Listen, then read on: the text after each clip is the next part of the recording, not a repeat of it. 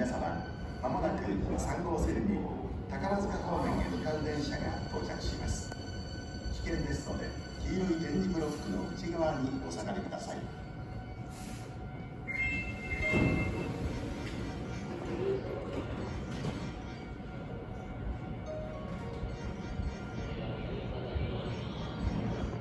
到着電車は。急行宝塚駅です。停車駅は豊中から宝塚までの各駅です。次は豊中に止まります。ご乗車の際足元にご注意ください。この駅から急行宝塚駅です。